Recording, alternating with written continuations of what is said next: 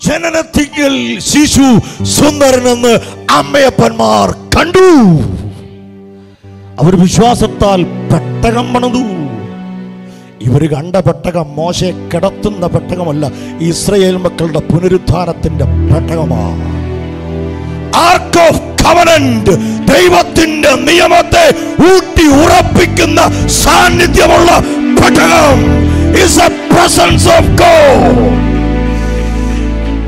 അമ്മയപ്പന്മാർ പണിതത് കൊച്ചു പയ്യന് മൂന്ന് മാസം ഒളിക്കാനുള്ള പെട്ടകമാണ് പക്ഷെ സ്വർഗം പറഞ്ഞു ഹോൾ ഇസ്രയേലിനെ ജയിപ്പിക്കാനുള്ള ഒരു പെട്ടകം ഇവൻ പണിയും.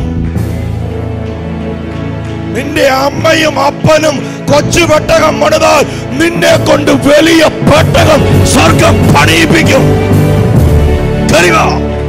ചിലര് കാലഘട്ടത്തെ തിരിക്കുവാനുള്ള അഭിഷേകമായി ചിലര് പുറത്തു വരാൻ പോവുകയാണ്. യോശുവാമാര് കയറി വരും കേട്ടോ. കയറി വരും. കയറി വരും.